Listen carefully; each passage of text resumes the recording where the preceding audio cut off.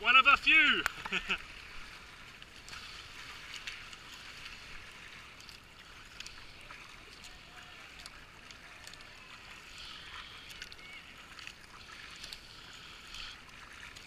look at all those part-timers. They're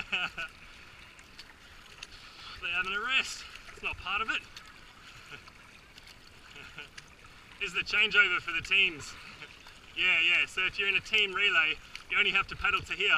then the next person paddles from here and then they swap again later.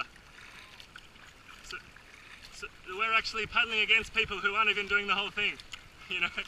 And you don't know who's on the, who's on the team and who's doing the whole way. So don't worry if anyone zooms past you, they'll probably stop at the next place and swap anyway. so uh, uh, take it nice and easy. No, no. You, well, you guys are in. A, are in a. You, did you start right at the back, or did you start quite far forward? Ah, okay. Of course, because you're in the double. Yeah, yeah. Usually the doubles start at the rear, but this year they've made them start in the front because most doubles are very fast. So yeah, so all the doubles went, and we haven't seen them. But you guys are lucky because you didn't have to battle with all of us idiots. if you were at the back, you'd be stuck behind people like, well, the, the single ski paddlers, you know, the, the long, oh, probably 200. Yeah, so I was on good. No, no, not at all. We're probably about halfway up through the field, I reckon.